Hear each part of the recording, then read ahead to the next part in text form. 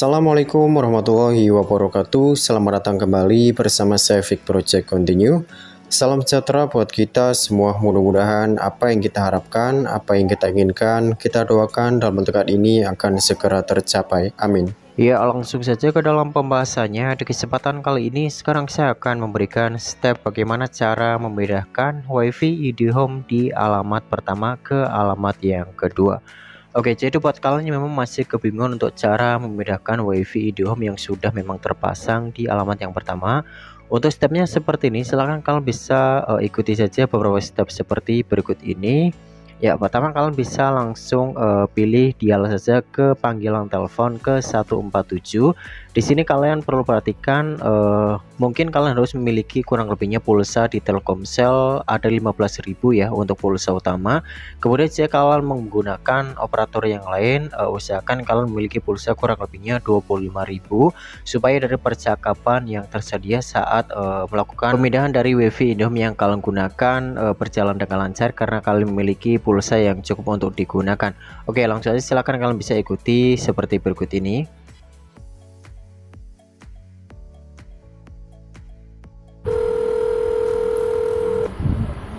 Terima kasih telah menghubungi kontak center 147. For service in English, please press 1. Oke, silakan kalian tinggal ikuti saja teman-teman ya. Silahkan Ya, masukkan nomor IndiHome tunggu. atau nomor telepon lengkap dengan Karena kode area uh, kita akan langsung berbicara kepada customer service-nya. Untuk berbicara dengan officer kami, tekan 9. Oke, kita pilih 9. Tekan 1 untuk informasi dan registrasi. Tekan 2 untuk pengaduan layanan. Kemudian pilih 2 ya. Untuk menjaga kualitas layanan, pembicaraan ini akan kami rekam. Halo, Telkom Elisa bisa dibantu? Selamat sore. Selamat sore Kak mau Iya, uh, mau pindah WiFi IndiHome bisa ke alamat rumah yang lain Untuk di alamat rumah yang lain ya, Pak. Hmm. Bisa Pak nanti dibantu untuk pengecekan terlebih dahulu Oke terkait untuk ketersediaan jaringannya itu sudah ada atau belum seperti itu, Pak. Oh, Sebelumnya untuk nomor Indihome-nya sendiri di nomor yang mana, Bapak? IndiHome-nya ntar aku lihat dulu ya Boleh, Pak. Silakan. Eh, 146 Ya. 282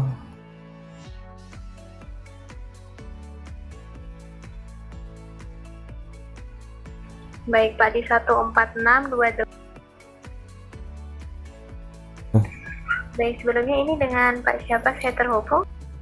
di Fikri Oh, baik, Bapak Hmm. ini boleh dibantu untuk verifikasi data, Iya, sampaikan silakan. untuk atas nama dan alamatnya atas namanya? Alamat? Ya. yang sekarang masih di Kalisoka Dukuwaru Tegal Iya, baik, Bapak. Hmm. Sudah sesuai seperti itu ya. Hmm. Dan di sini tadi eh, Bapak juga sudah menghubungi seperti itu Pak Fikri ya, Iya. untuk pindah alamatnya. Hmm. Sudah dibantu untuk pengecekan juga atau belum ya Pak? Untuk proses pemasangannya di tempat yang baru itu sudah ada atau belum? Oh, itu? belum kemarin sudah belum kemarin sudah ngubungin ke orang lapangannya katanya udah ngecek tapi nggak ada tiang IndiHome-nya gitu Oh, tidak ada untuk tiang indihome-nya Hmm. ya Pak. Baik, ini coba saya bantu cek kembali ya Pak ah Boleh dibantu infokan Pak untuk alamat pemasangannya itu di mana alamat yang baru? pemasangannya di Desa Harjosari Lor Iya, Desa Harjasari Lor, kemudian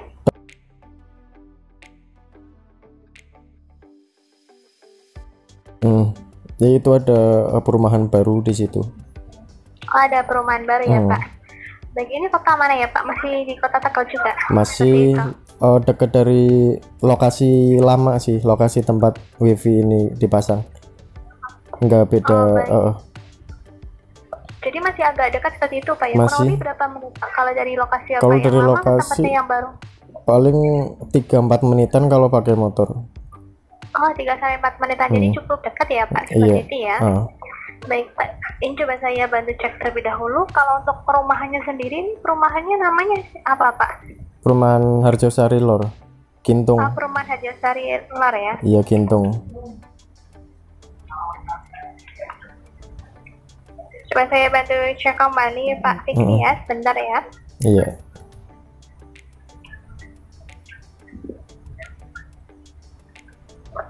Di Harjosari Regency ya Pak, betul? Iya, betul. Eh, kalau di map ada ACC Japan Center itu yang baru juga. Oh yang baru juga, oh baik ya Pak. Coba saya bantu untuk cek kembali ya Pak. Hmm. Sebentar ya Pak. Itu persis depan ACC Japan Center. Oh di depan Asosiasi Javan Center ya iya, Pak? pas seberangnya. Ah baik ya Pak. Coba saya bantu cek kembali. Mm-mm. Sebentar Pak ya. Jadi saat ini posisinya Pak Fikri itu sudah di rumah yang baru seperti itu ya. Hmm. Oh, baik Pak, ini coba saya bantu cek terlebih dahulu. Sebentar Pak ya. Hmm. Oh baik Pak, di depan Javan Center seperti itu ya Pak tadi ya. Iya, Baik, jadi Hmm. di depannya ya ini ya Pak. iya persis. Ya Pak, baik. Bantu untuk cek kembali terkait untuk ketersediaan jaringan ini ya Hmm. tempatnya Bapak. Sebentar ya Pak. Iya.